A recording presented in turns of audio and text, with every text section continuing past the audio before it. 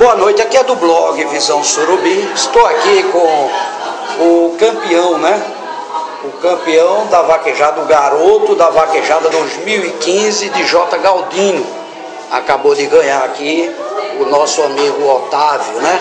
Otávio, como é que foi essa emoção, esse lado assim de, de desfilado? Eu sei que não é fácil, né?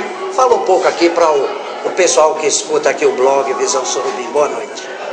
É, foi inesperado, né? Não sabia que eu iria ganhar, mas aconteceu, graças a Deus. E é isso, estou feliz e vou curtir agora a minha vitória. É isso aí. O pessoal tudinho aí acharam justo, não foi, Otávio?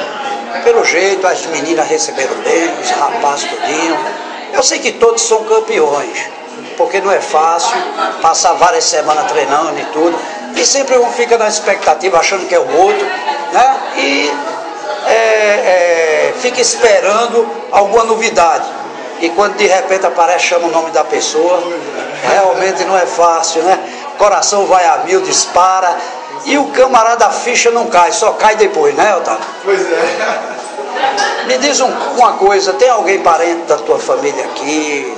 Tem, meu irmão, minha mãe, Sua mãe está aqui, seu irmão?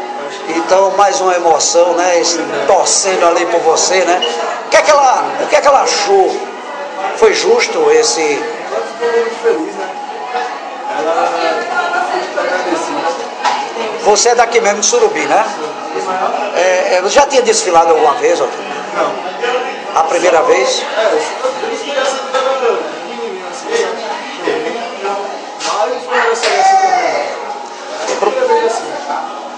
Pronto, daqui pra frente você, é, até sair dessa 2015, Pois é. você vai ter muitos convites para desfilar, para participar, né? Então vá se acostumando, né?